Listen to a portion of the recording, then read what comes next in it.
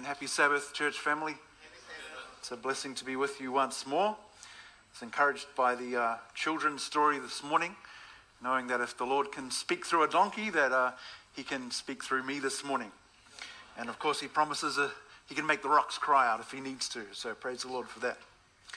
Uh, we're continuing on our series this morning, curtain call, The Final Acts of Earth's History. And uh, we're concluding our message from last Sabbath uh, if you were here last week, uh, the message was called The Conclusive Cast of Christ. Now, the irony is not lost on me that we didn't come to a conclusion last week and that we have to uh, finish it off this week, but I think it will actually add to uh, the message uh, that we have this morning as well. So, last week we looked at the inception and the continuation of the church as started by Jesus Christ and continued on by his followers. And uh, they proclaimed, of course, the, the good news of Jesus Christ, the good news of his soon return. And uh, it was interesting because we saw as far back as 85 to 100 AD, this is only like 40 or 50 years after Jesus had ascended into heaven, that there would be a falling away from what Jesus had set up before he returns. And of course, this is what we saw in history as, as we went through the history of the church. And we saw that the church went off the rails a little bit. We saw this deformation come into the church uh, for some time before, of course, Luther came in and uh, got things back on track again. He started a conversation, what he hoped would just be a conversation, uh, that obviously soon became uh, an argument, a debate that uh, sparked the Protestant Reformation. Uh, but as we saw last week, uh, over time, God revealed more and more truth uh, to his people, and this is why we see this succession of churches over time. Uh, like I said last week, the Adventist, Adventist church stands uh, on the shoulders of these giants that came before us. Amen? These men like um, Huss and Jerome and Wesley and, and Calvin, all of these guys, we stand on their shoulders. But we see through history with each successive truth that would come along, a group would remain where they were instead of growing along with these new truths. And uh, we figured out last week that the church is a movement. Amen? The church is a movement and it keeps moving, it doesn't stop. But often throughout history, the history of the church, we see uh, groups that get tied down by traditionalism by denominationalism. And you'll remember that we looked at this great quote from um, Pelikan, the Christian historian, where he said, Tradition is the living faith of the dead, but traditionalism is the dead faith of the living. These men like Luther and Wesley, etc., they have come and gone, and the light that they lived up to in a very powerful way holds them in great stead for when Jesus returns. Amen? But for some who built up their denominations uh, around these great men, uh, where their faith is rooted in traditionalism, you know, they might be found themselves wanting when Jesus returns. And uh, as the Adventist church, we are not impervious to this either. I'm not saying we're a, a perfect church this morning. Amen? Uh, far from it. So I don't want us to look at uh, this slide here and see that we're kind of at the top of the food chain. Amen? We're not, we're not at the top of the food chain. We are just living to the light that God has uh, revealed to His church in these last days. And uh, that we are sitting here this morning uh, again.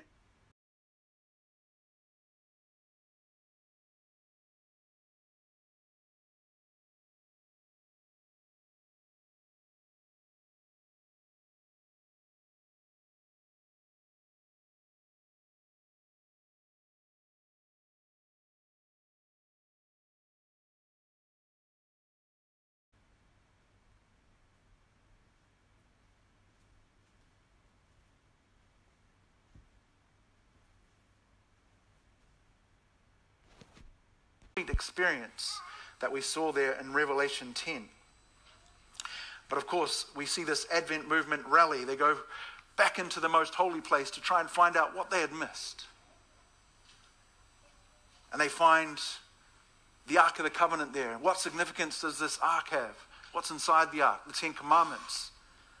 They find out the Sabbath truth, all of these amazing truths that seem to be all connected together that come out of this discovery in the most holy place in the sanctuary.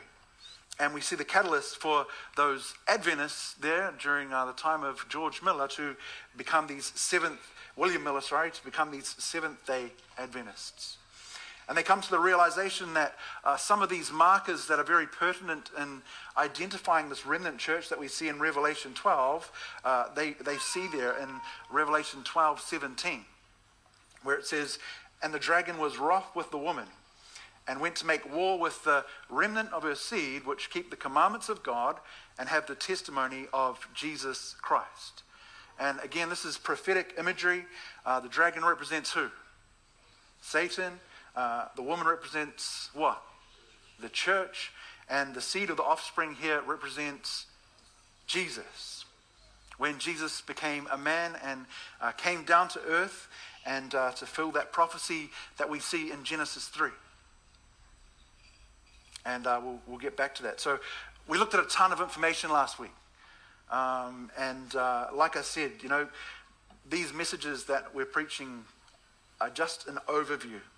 And I'd really suggest that if you want to uh, really understand these, these prophecies and these concepts that we find uh, in the book of Revelation and Daniel and these kinds of things, uh, then you should go and see Pastor Josh. And uh, he'll tell you all about it. We got, we got Pastor Harvey here today as well, so you can probably go and see him. But um, we are more than happy to, to resource you, to, to point you in the right direction, that you can study these things and, and come to a, a better understanding. So, this remnant, or as we called it last week, the conclusive cast of Christ, will be known by two things. What are the two things we see here? That they will keep the commandments and that they will have the testimony of, of Jesus. Now, this morning I'm going to say something fairly controversial. And uh, some of you may get upset. I know that Josh is looking probably a little bit nervous, probably Harvey as well. I, I was hoping they wouldn't be here this morning, actually. But um, here's the thing this group that is at the top of these stairs here, the Adventist Church, is not necessarily the same group as these ones here that keep the commandment of God and have the testimony of Jesus. You see, this morning there is a visible church and an invisible church. God has a visible church and an invisible church. And what I see, uh, see in these two defining markers here in Revelation 12 17 is a theology. I mean, it's all about theology, but in regards to the personal experience of, of these people, I see the theology there in, in, keeping the commandments, but also see the testimony of Jesus, which I believe is an experiential thing. Amen? You've got to have that personal relationship with Jesus. Now, I know as good Adventists, we like to see uh, uh, the testimony, testimony of Jesus, and we relate it back to Revelation 19.10, don't we? The spirit of prophecy. And that is definitely legit. But I also think that it points to us having that personal experience with Jesus, that personal relationship with Jesus. And, um, you know, if you, were, if you were to ask me which one of these things were the most important, I would say, what is more important, inhaling or exhaling?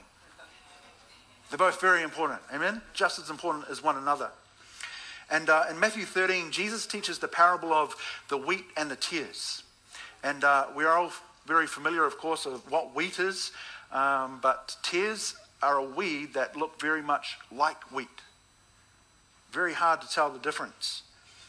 And uh, in this parable, Jesus compares the kingdom of heaven to a, to a man who see, sowed good seed in his field, but while he was sleeping, an enemy came in and sowed uh, these weeds or tares.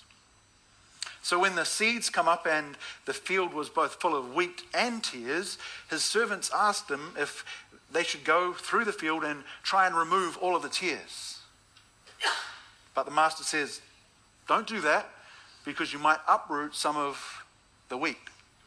Basically, saying you will have a hard time differentiating between the two.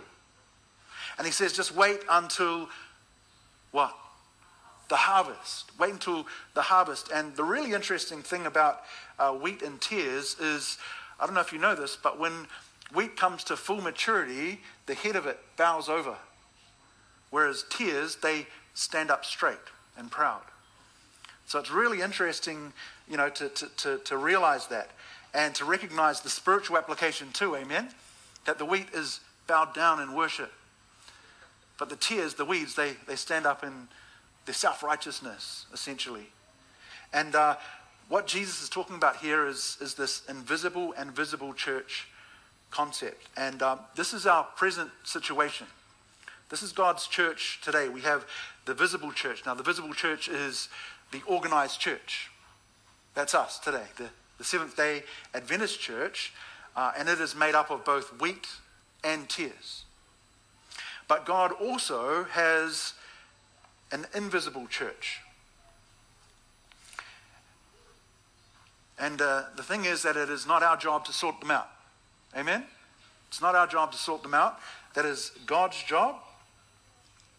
And um, of course, man is only able to see the outward appearance. It is only Jesus that can see the heart, that can truly judge people for, for who they are, and probably more importantly, whose they are. And uh, we're living in a time in, in church history that we call the church militant. We are the church militant. That is to say, that every believer is in this cosmic conflict, this great controversy, this, this battle between good and evil. We are all engaged in spiritual warfare. There are two opposing influences that are continually exerted on the members of these churches. One influence, of course, is working for the purification of the church, and the other's mandate is to corrupt that church. So, this is the current situation. But just before Jesus returns, we see a, a transfer. There is a, it's almost like an international exchange program where we see the unfaithful in the visible church, they leave, and then we have the faithful ones that are out there in the invisible church, they come in. They may have the testimony of Jesus, but at this time, they might not know about the commandments of God. But they're living to the light they know. Amen? And they are counted as being faithful. And they will become eventually this church triumphant. So, this is the church just before Jesus returns the church that is ready for, for Jesus' soon return. And these are the ones in Revelation 12 that are described as having conquered Satan by the blood of the Lamb and by the word of their testimony. This is, this is the conclusive cast of Christ in this theater of grace that we find ourselves in. Now, the Adventist church that is now is most certainly God's vehicle for the advancement of the gospel. Amen? God is using the church to advance the gospel. Now, don't get me wrong this morning. You're all in the right place at the right time, at least physically. But this church who keeps the commandments of God and have the testimony of Jesus at the end of time, they are this remnant people that Revelation is talking about here. So, we as the visible church play a big part in the church uh, that is going from this to this. Going from this church militant to this church triumphant. And that stems from what the mighty angel in Revelation 10 says right at the end there. Remember, we, we looked at it last week, but I'll bring it up for us again. Revelation 10 and verse 11, where it said, This is John speaking, and I was told, You must again prophesy about many peoples and nations and languages and kings. So, as the visible church, we have a role to play again in this theatre of grace. And our message this morning is called Knowing Our Role. So, it's important that we know our role. Amen? It's important to know what part we, that God wants us to play uh, in this theatre of grace. And it's interesting because I was looking at a play. Now, often a play is made up of three parts or three acts. And uh, it's, it's Act 1 is called the setup, Act 2 is the confrontation, and Act 3 is the resolution.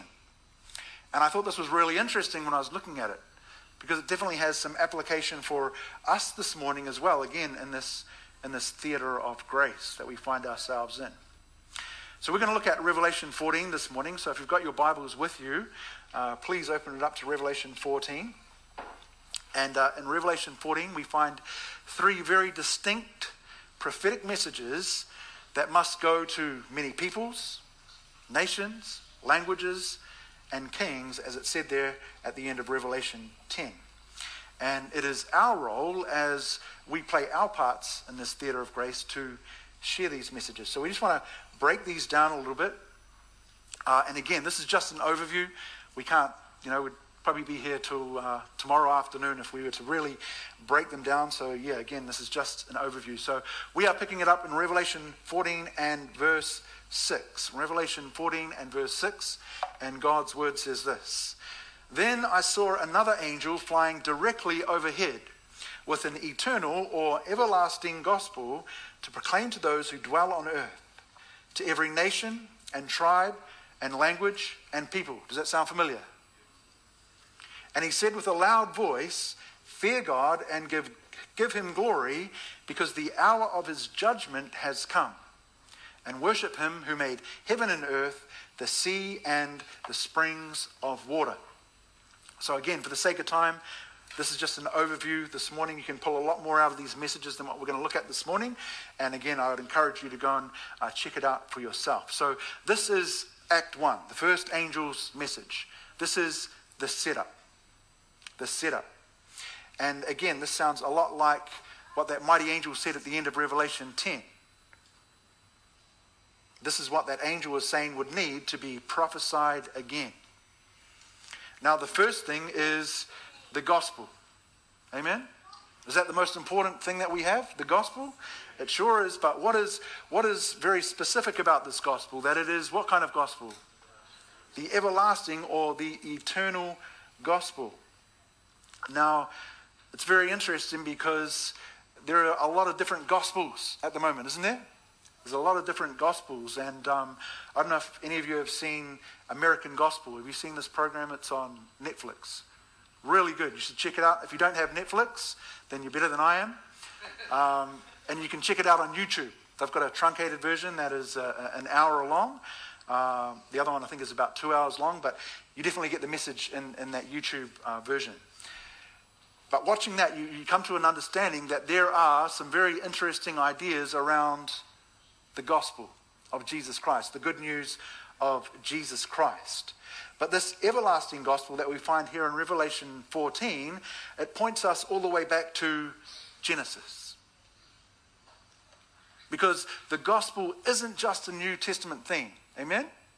It's not just a New Testament theme. You know, many dismiss the Old Testament today. They think that is largely redundant for God's people as New Covenant Christians. But the gospel that we preach is one that recognizes that the introduction of the gospel goes all the way back to the book of Genesis. And as I mentioned earlier, you know, after sin had infiltrated the garden, then God gave us that very first prophecy in Genesis chapter 3, where He said, I will put enmity between you and the woman, and between your offspring and her offspring. He shall bruise your head. Who are we talking about? Is the He is, is Jesus, shall bruise your head, and you shall bruise his heel. The other way around, sorry. But the plan of salvation was put into effect the moment that sin came in. God took care of it as soon as it came in. And in Revelation 13, what is it called Jesus? Do you remember? The lamb slain from the from the foundation of the world. That sounds like it goes all the way back to Genesis. Amen. The lamb slain from the foundation of the world. Uh, another thing is that more and more we are seeing uh, Christendom, Christendom sorry, distancing themselves from the literal seven day creation account.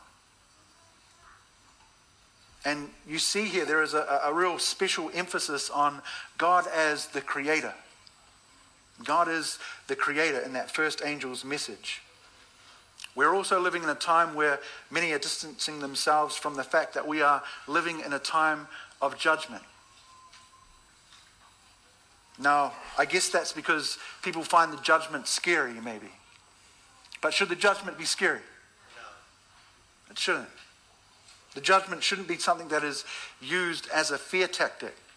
In verse 7, it does say to fear him, but this isn't about being scared of God. It's simply saying that we are to respect God. To respect him, to, to show the respect he deserves, to worship him because he is worthy of our worship. So, a big part of the setup of this first angel's message is that fear shouldn't be a motivating factor when we share the gospel. Amen? Fear should have, have no part of our gospel sharing. When we point people to Jesus, anxiety and fear, these things should be cast out. And not just about the present, but the future as well. Amen? People should not have any fear about Jesus' soon return, unless, of course, they don't have a relationship with Jesus. But we need to know this morning our condition as sinful human beings. We need to be aware of our need to be able to come boldly to the throne of mercy and grace every day so that the judgment is of no concern to us. And I love that it says that, that we can come boldly to the throne of grace. Amen? Does it sound like we have to come fearfully to God? We come boldly. He's expecting us to. And this is another aspect of the everlasting gospel is not just the good news that Christ died for our sins on the cross, but that he continues to mediate for us every day in heaven, dealing with the sin in our lives so that we can stand before God justified by Christ's righteousness. And so we must also emphasize that the law of God is still binding. That the commandments of God are still relevant for God's people today including, of course, the fourth commandment to observe the seventh day Sabbath, which is a memorial to creation. So, this is, this is Act 1. This is the setup for the first angel's message. To remind people their need of Jesus, to respect God and worship Him as our Creator, to keep His commandments because we are living in a time of judgment. And then we come to Act 2 the confrontation, also known as the second angel's message. So if you're in your Bibles there, we're just going to the next verse in Revelation 14, verse 8. And God's word says, And another angel followed, saying, Babylon is fallen, is fallen, that great city, because she has made all nations drink of the wine of the wrath of her fornication. Now, we associate Babylon with spiritual confusion. If we go back uh, in, in time and into Bible times, we know that Babylon was opposed to Israel. It was opposed to God's people and uh, it enticed Jerusalem, God's people, into paganism and idolatry. And eventually, of course, it took the whole nation into captivity. And you'll remember that only a small remnant returned to the broken down city to build it back up again. And of course, today we see uh, the church as spiritual Israel, don't we? And uh, you know, it comes back to that verse from Galatians that we shared uh, last week Galatians 3 28 and 29, where it says, There is neither Jew nor Greek, there is neither slave nor free, there is no male and female, for you are all one in Christ Jesus. And if you are Christ's, then you are Abraham's offspring you are heirs according to the promise. So, in a similar fashion, that we see spiritual Babylon, which is this uh, confederacy of religious powers that opposes God at the end of time, to lead people astray and to take them captive through false doctrines and a distorted view of God's character. At the time, literal Babylon was leading God's people astray. God used someone by the name of Jeremiah, the prophet Jeremiah, to confront this pagan system and to pronounce judgment on it. Notice this morning I'm talking about confronting a system, not a people. You know, this is very important this morning when we are confronting these things which are opposed to God, that we never frame it as an anti people thing, but an anti ideas thing, an anti systems thing. We shouldn't be against people, but against the powers that are impairing people's perception of God by making them inebriated via this spiritual confusion that we see here. If you in your Bibles there, turn to Revelation 18. And uh, in Revelation 18, we see a, a very similar me- message to what we see here in Revelation 14, but there's a, a really important point that I want to point out here that speaks to the point that I'm making. So if you're in Revelation 18, it says, After this I saw another angel coming down from heaven, having great authority, and the earth was made bright with his glory. And he called out with a mighty voice, Fallen, fallen is Babylon the Great. So it sounds just like Revelation 14, doesn't it? She has become a dwelling place for demons, a haunt for every unclean spirit, a haunt for every unclean bird, a haunt for every unclean and detestable beast. For all nations have drunk the wine of the passion of her sexual immorality, and the kings of the earth have committed immorality with her, and the merchants of the earth have grown rich from the power of her luxurious living. Now, I want you to see, just as we've read this here, that it is, it seems to be not just talking about religious systems, does it? It seems to be incorporating pretty much every worldview that is in the world as opposed that is opposed to God. And this is God here looking down on the entire world. And what does he see? If we carry on there in verse 4, what does it say? Then I heard another voice from heaven saying, Come out of her, my what? My people, lest you take part in her sins, lest you share in her plague. So when God is looking down on Babylon, what does he see? His people. Isn't that amazing? He sees his people. So we too, when we look at Babylon, we should see his people.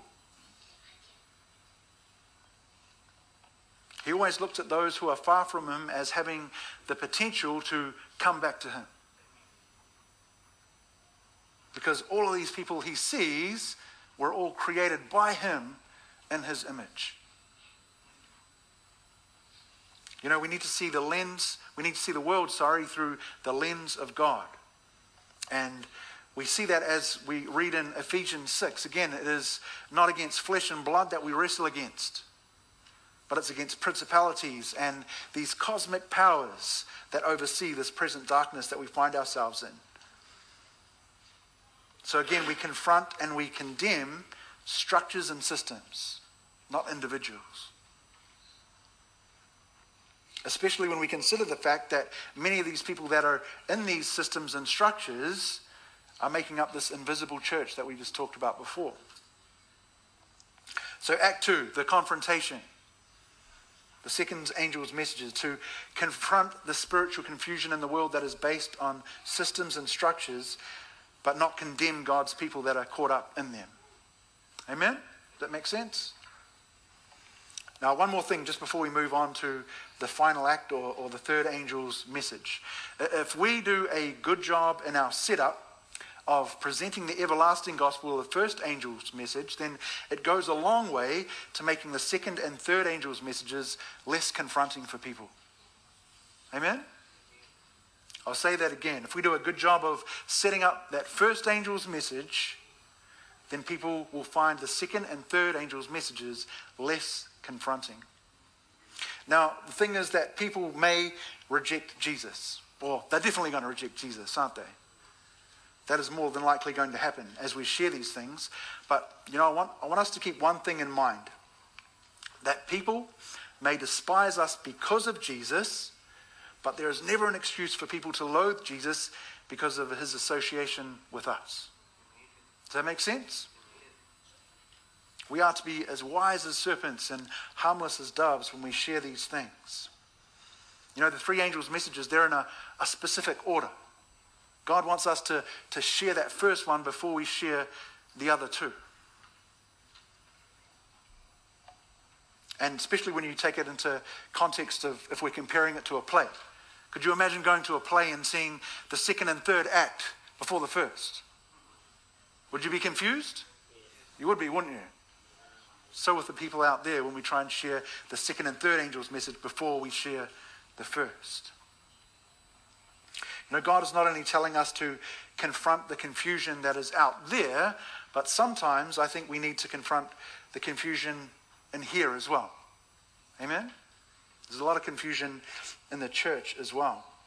And so we move on to Act 3. And this is the third angel's message the resolution. So, again, if you're following along in your Bibles, we're picking it up in verse 9. Uh, this is quite a long one. Verse 9, the third angel's message, it says this Then a third angel followed them, saying with a loud voice, If anyone worships the beast and his image, and receives his mark on his forehead or on his hand, he himself shall also drink of the wine of the wrath of God, which is poured out full strength into the cup of his indignation. And, and the smoke of their torment ascends forever and ever, and they have no rest day or night who worship the beast and his image. And whoever receives the mark of his name, here is the patience of the saints.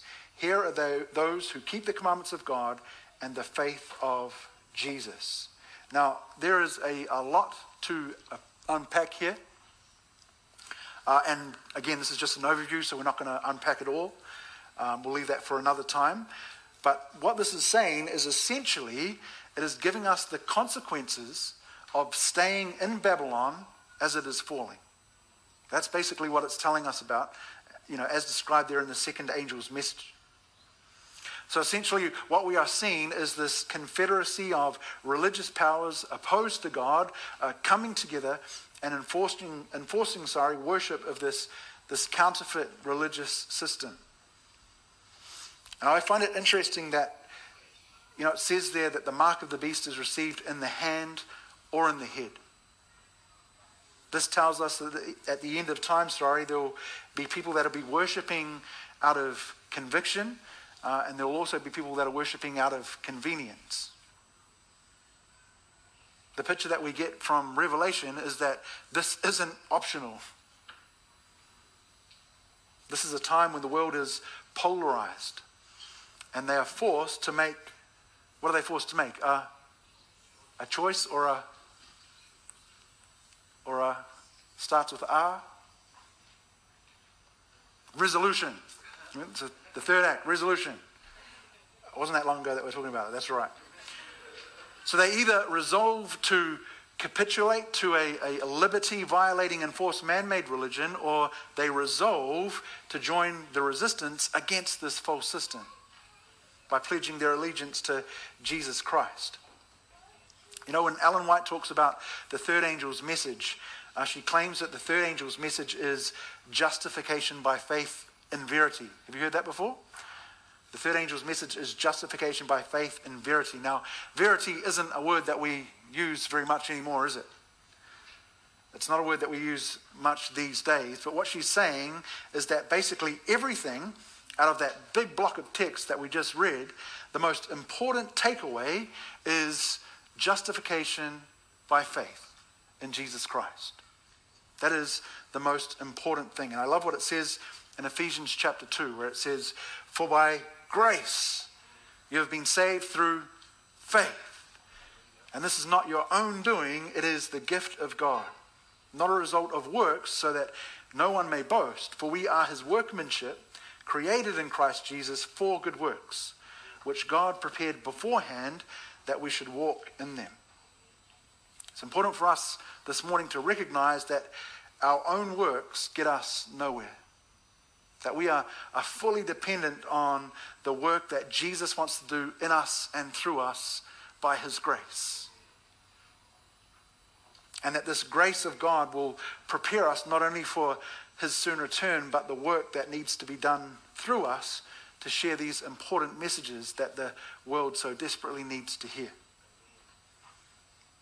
You know, we started out this morning in our message by identifying this, this conclusive cast of Christ.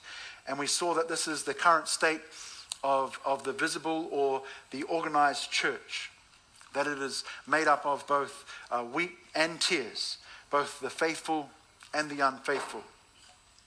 But just before Christ returns, those t- tares would leave and align themselves with this false religious system.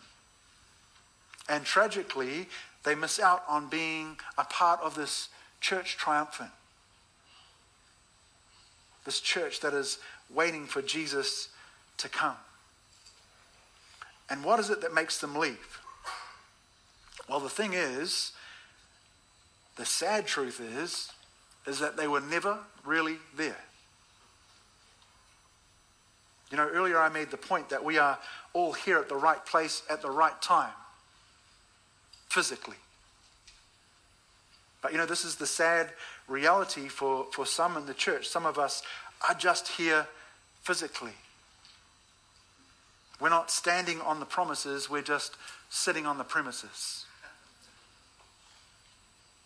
You know, it's like when God came down to the garden after the fall and, and he calls out to Adam. He says, Adam, where are you? Now, did God know where Adam was? Of course he did. He's omniscient. He knows everything. God knew that Adam was hiding behind, the, uh, behind that bush, but he was asking a rhetorical question, wasn't he? He was asking Adam, Where are you spiritually? Where are you emotionally? Where are you mentally? And you know, it is the same question that God asks us today. Where are we today? Where are we today? Are we part of this visible or, or this invisible church? Because those who endure at the end of time as a part of the invisible church uh, will be those who not only keep the commandments of God, but have a living, experiential faith grounded in the faith of Christ's righteousness. A group who long ago said it is no longer I who live, but Christ who lives in and through me. And everything I do is motivated by his power in me. You know, as I mentioned last week, this morning, church, I want to see that being a Seventh day Adventist living in such a time as this is not something that we should be prideful of, but something, again, that we should find humbling. Because we recognize this that God doesn't have a group of people at the end of time that he holds in a higher regard, but a group that he holds to a higher account. Before we close this morning, I just want to bring up that quote from God's Amazing Grace that we looked at last week again. God's Amazing Grace, page 338, where it says this During ages of spiritual darkness, the church of God has been as a city set on a hill. From age to age, through successive generations, the pure doctrines of heaven have been unfolding within its borders. Enfeebled and defective as it may appear, does the church appear ineffective sometimes? Enfeebled? Sure does. Regardless of that, the church is the one object upon which God bestows, in a special sense, his supreme regard. It is the theater of his grace in which he delights to reveal his power to transform hearts. Now it's interesting there where it says, in a special sense, the church has his supreme regard. You think the thing is that it is not because we are a special people Amen? It is because we have a special work. He holds that work in high regard. So, with that in mind this morning, may we all seek God in all that we do so that we might be counted amongst this conclusive cast of Christ at the end of time. So that He can use us for His glory to set up an accurate and attractive picture of Him according to Act 1, the setup by, conf- by confronting, sorry, the false religious systems and structures in place in Acts 2, in that confrontation. And the opportunity, or giving the opportunity to people to resolve in their hearts and minds to give their lives to Jesus that we see in Acts 3. To make that resolution. And that is for us too, as well, isn't it? That we are to make that resolution that we are to resolve in our hearts and minds as followers of Jesus to allow Him to use us for His glory so that the work can be finished and He can soon return to come and get us. So let's pray, eh? Our dear Father in heaven, we thank you so much for your word, Lord. We recognize this morning that we have covered a lot of stuff. And um, yeah, there, there, there's so much there. But we just wanted to give this, this overview of what God's people would look like just before you return. Lord, we pray that we are not here just going through the motions, that we are keeping the, the letter of your law, but that we are keeping the spirit of your law. That we have that relationship with Jesus that motivates us to keep your law. That it is not the root of our salvation, but it is merely the fruit of the work that you are doing in us and through us. We recognize, Lord, that there is a great work to do in this world to reach the world with the amazing truths that we find in Jesus. And uh, Lord, we have nothing to bring. And so we ask, Lord, that you work in us, that you give us the boldness, the tenacity, the resources and tools to be able to go out and share these amazing things with those who are out there that don't know you yet. We thank you, Lord, for your love, your mercy, and your grace. And we pray all of these things in the name of Jesus. Amen.